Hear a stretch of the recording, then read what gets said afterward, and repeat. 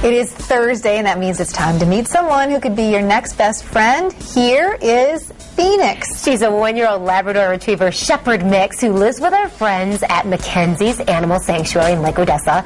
The staff says she's very loving and sweet and is picking up on all of her commands and is learning to work on her focus, too. Very important. Phoenix is still quite young, so she's full of energy. She'd make a great addition to a family with younger or older kids. She's medium weight and could be a great dog for a very active family. Phoenix has done well so far with the other dogs and is highly intelligent. She just needs a home with someone who will take the much needed time to train and love her. Mm-hmm. If you'd like to meet Phoenix, Mackenzie's has made it very easy to get started. Go ahead and fill out the online adoption survey at www.mackenzies.info. The cost of adopting from Mackenzie's is $150.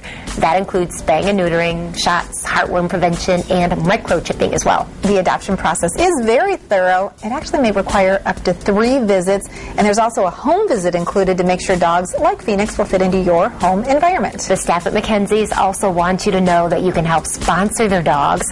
We've got a link to their website on our page at woodtv.com. And our friends at Mackenzie's also wanted us to tell you about a special fundraiser Ooh. on Saturday at Pooch's Dog Wash in Wyoming.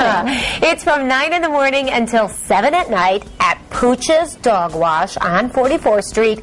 There is a $10 donation. You get a full service wash for your dog that includes a deep clean bath, warm air blow dry, and fragrance. Mm. This sounds like a spa. There you go. For your a spa dog. treatment for your dog, your best friend leading up to Valentine's Day. There's also free snacks, fun raffles, and a lot lot of great giveaways, so consider that if you're looking for something to do for your pet this weekend.